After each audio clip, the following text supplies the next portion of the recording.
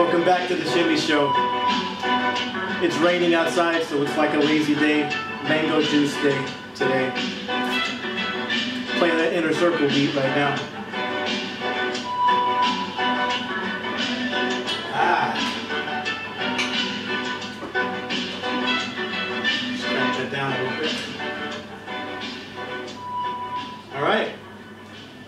So, how you guys doing today in internet land, TV land? I'm gonna devote all of five fucking minutes to the outside world and talk about some shit. So welcome back to the Shimmy Show. Um, yesterday was a shopping day for me. I didn't do too much but get a massage and go shopping here in Thailand. I uploaded another episode called Black in Thailand Part 3. Part 3, motherfucker. So check it out if you want to. It was about street food and some food from the night market and all the cool stuff. I ate some barbecue crocodile, some bugs, some fucking everything. It was some good shit. So anyway, let me show you guys what I got for um, very cheap actually at, at one of the markets here, right? Couple products. This will be a short five minute episode, I'm sure. So, first cool product in Thailand I got Obama cologne. it was only a hundred baht. I had to buy it. That's like fucking three dollars and ten cents. I, I, was all out of my fucking. Uh, my favorite Burberry Touch is my favorite at home actually. Cause I got the highest reviews on Amazon and girls like it actually. But this, it smells I. But just for the packaging and for novelty purposes only, I got Obama cologne. It's, I don't know who the fuck where's it made from. Holy shit! It's made in Canada. Wow, Woodbridge, Ontario, of all fucking places. And they imported it here, all the way to Thailand. Wow. How the fuck about that? Shirley May, Obama Cologne. I don't know if Barack endorses this product.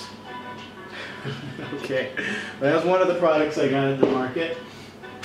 And the last thing I want to point out here is, um, you guys might notice I wear these fucking, um, stand up on chair here, I'm short. I'm short motherfucker, but I wear these um, like football jerseys, soccer for you Americans, but football is a very popular sport worldwide, especially in Thailand. And I buy these jerseys all the time because they're great for running in and uh, working out in. You know, I I like them. They're good. You know, I don't sweat through them too bad due to my hyperhidrosis and shit like that. And they're they're good workout clothes. So this particular one, uh, I don't know shit about the teams or whatever, but jerseys I usually pay a hundred baht for, which is like three dollars and ten cents. Depending on the, this one, this one was uh, some might be double the price, some might be like five dollars. Five dollar fucking high quality clothing or whatever, right? But let me show you guys the quality of the shit here because this is what I would consider like a medium mid-grade or low to mid-grade quality or whatever. And here's just for example, some laundry I have to do today. There's actually a tailor shop. There's a lot of Indian tailors in um, Thailand in this area in particular. Let me pause this fucking music here. Mute it. Okay. There's a lot of um, East Indian tailors and tailors from fucking um, what's it called, Myanmar and places like that. They actually have like literal sweatshops here where they will um, print and produce damn near any jersey of any fucking quality and even do fucking custom numbers, embroidery and shit for only a couple dollars. Literally like for an extra 200 baht, for an extra fucking like five dollars, you can get your name and your own number embroidered on the back. It's nice, high quality, uh, whatever they call it, silk screen, screen printing and whatever, and all that good shit. This is what I would call like a premium quality jersey, right? I paid through the nose for this one, like double price. Whereas this one here, if you if I hold it up side by side, this is a cheaper version of it for this is the three dollar version, okay? If you guys can tell, and this here is like the six five six dollar version customized. Okay, notice the how oh, shit. One of them is much bright, even though I have to wash them both. Um, this one's like kind of a less off-white, and this one's a more bright white with a thicker material, if you could see side by side or whatever. But you know, we're talking like the two, three dollar difference or whatever, but this one's clearly a heavier material, higher grade material, and this one's still okay for running and this and that or whatever. But um, that was my little shopping trip. You know, I got some jerseys to exercise in and uh, some Obama cologne and some more other jerseys or whatever too because I got to do laundry, but I work out all the time and uh, shit. So anyway, yeah, man, Thailand is awesome for shopping. Uh, I said this was only going to be a five-minute episode or whatever. and it is. At least the shopping part is. Haha. And I can talk about some more shit. Um, what did I mention on my channel? This is my channel, by the way. One of my the YouTube channel that I really don't really give two shits about, but this is being uploaded to right now. Uh, my real, my actual job that I do, my my adult channel and all that other shit. I actually do real work during the day. This is not like one of my stats from another page or whatever here. Currently, sitting at 96,612,165 views, sir. and all that shit. Just, this is just one of my motherfucking things. You know, I got like a whole bunch of um, channels and shit, and this isn't the only motherfucking shit that pays me. But I mean, it's like I'm a busy person if you guys can't tell. This YouTube shit is just like literally for fucking fun. It's something I fuck around with like in the background while I'm doing the actual actual statistics of my uh, my real shit. So I don't actually have time all the fucking time to respond to motherfuckers micro comments and emails and hey bro how are you blah blah blah. I just don't got the time all the time. And I want to point this out to you motherfuckers to understand that. If 96 million other motherfuckers are looking at my shit and all typing shit to me, do you really think I have time to address all your fucking issues? Like, come on, really? Now, obviously, I'm going to do what pays first, right? Always do what pays first, then do your other little fun projects or whatever. But keep in mind, this YouTube shit for the Shimmy Show, Shimmy Triple X, is just for me. Okay? This takes the priority, the real deal shit. Alright? Fuck. Now, what else was I going to talk about before I actually get to, to fucking real webmaster work today? Um, I made a little quick note on my notepad about some shit. Alright. Well, just checking through some emails here. Yeah, um, this is my mom. It shows you that your mother loves you and she emails you every day in caps, caps and shit, right? She writes, I mean, as any son, I love my mother, but she she writes a lot of shit and whatever and whatever and whatever.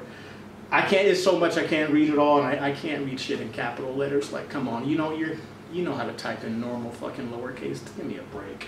But all this shit, she's basically saying, blah, you know, I see all your videos, this, that, that, and the other. Don't don't worry about the hater and haters and people and all that shit. Well, what I have to say, since I don't even feel like hitting reply and responding to that right now, is fucking um, please. This goes out to not just my mother, but everyone. Um, it's not a good idea to tell people how they should cope or deal with whatever issues they're going on or whatever unless they actually ask their opinion of you you know what i'm saying you, it's not good to tell people how they should suffer and how they should deal with their pain and issues and shit like that going on in their life you know what i'm saying i'm not the kind of person that likes to internalize stress I could sit here stewing, being like, oh, these, these people fucking with me, and they doing this, and they messing with me, and when I leave my house, they following me, and this and that, and I'm gonna just sit in my room and just keep it all to myself. No, motherfucker, fuck that. I got a fucking camera, I'm gonna push the red button and talk about it, and it's my way of not only venting, but putting my story out there. You know what I'm saying? Silence is not good. Silence is not a good option all the motherfucking time. You know what I'm saying? So, yeah, man, just as motherfucking vilified as I am, you know what I'm saying? As the Jews say, lest we forget. Are you going to tell the Jews to stop talking shit about Hitler? That nigga been dead for over 50 fucking years. And They don't let off him every fucking movie, every show, every book, every, every, every. They keep his name and memory alive just to point out, lest we forget. If you fuck with me, lest we forget. I don't care if you in the motherfucking ground, six feet deep with worms that ate out your fucking eyeballs and shit, and you're just a goddamn skeleton. I'm not gonna let people forget you fucked with me and stained my name. Fuck that shit. You know what I'm saying? So please don't tell me how I should deal with people who fuck with me. That's nobody that's no one's position to tell a fucking victim to not talk shit about their abuser. To be silent about people that abuse them and you know just fuck with them or whatever. Fuck that shit. If you're if someone's abusing you and you're being silent about it that's your goddamn problem. It's your own fault. You, you have the right to be vocal. You have the right to express yourself. If you don't like me you have a right to make a motherfucking channel like this and make all kinds of fucking bullshit ass reply videos and say this that and the other just like, um, whatever, you could triangulate me and make me all kinds of a motherfucking bad guy if you want to. And I'm going to give you guys an example real quick about this before I shut it down, because I'm at the 10 minute mark here now. Look here real quick. Um, where the fuck is that tab at? Here it is right here. I saved it. If you guys could see the screen very briefly here. This is like a collection of news articles about me that people I've been on the national news fucking U.S. and Canada Associated Press. This is over like 10 years ago almost. Some of this from like 2009, 2010. U.S. porn website accused of preying on First Nation girls. Shimelesse Shimmy Mekbeb, adult film producer. U.S. pornographer targets Winnipeg Aboriginals. People blogging, talking shit. Porn entrepreneur prowls Winnipeg's North End. Porn site featuring native women reads alarm. Motherfuckers got all kind of you know, pictures of me and shit and stuff on the fucking news and all that and whatever, making me into like this like bad guy, like, hey, he's the evil porn producer guy, blah, blah, blah, blah. Vilification, triangulation, and all kinds of shit like that. And I'll get on to talking about these people in another next episode, but please, do not tell me how to fucking deal with my pain and whatever I'm going through. I'll deal with it however I see fit. Okay, this is Shimmy from the Shimmy Show signing out. Follow me on Twitter, Shimmy Triple X, Instagram, Shimelesse Mekbeb. Buy my movies, I want your money, honey, and I'll talk more shit on this later. Peace out. Out of here for now. Got to get some real work done, you know.